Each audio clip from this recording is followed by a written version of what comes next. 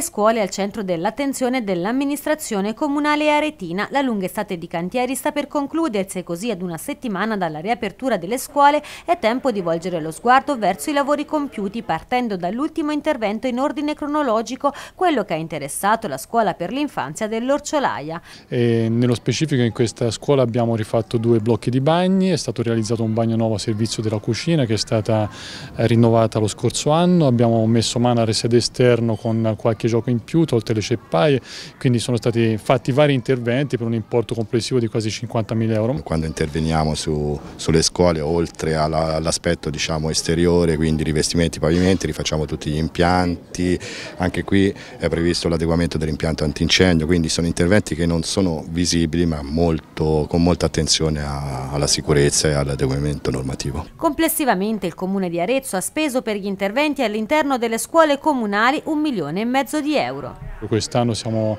intervenuti a Olmo, a Staggiano, a, ehm, a Siciliano, alla Leonardo Bruni, a Salleo, a Indicatore, alla palestra di Cisalpino, sono state tante le scuole all'interno delle quali siamo intervenuti che sono state oggetto di riqualificazione complessiva, in particolare eh, spesso siamo intervenuti per eh, riqualificare bagni piuttosto che resede come in questo caso, ma in alcuni casi anche per rendere più sicuri i plessi scolastici o le palestre nel caso della Cisalpino. Si vedono male questi interventi perché vengono percepiti unicamente dai bambini e dalle famiglie che gravitano intorno alle scuole, però c'è una particolare attenzione dell'amministrazione per rendere